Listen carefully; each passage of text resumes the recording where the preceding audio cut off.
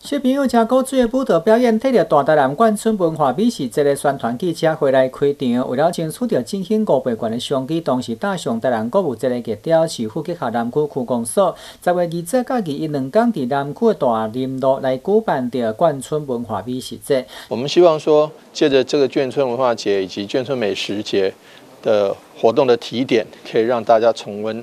啊那个时候小时候啊，或者是。年轻的时候，或者是啊过去的时候，大家曾经来眷村走走逛逛的感觉，所以我想说，这不仅是一个啊商业商圈的活动，更是一个文化活动。市长来表示，讲受到疫情影响，各行各业人受到冲击，好加在行业做了好，行业会出是渐渐地松绑。中央推出了五倍券，支付嘛配合了相关进行活动，希望大家趁着活动的机会来到现场试吃这假美食，摕到好礼。这绝对是商圈的活动，跟台南市台南购物节的活动，绝对是一加一大于二的活动哈。我们不仅是商圈、夜市、市场，或是其他的活动，其实。除了他们本身的这个加码之外，还有可以搭配双重抽奖，抽我们台南购物节的活动。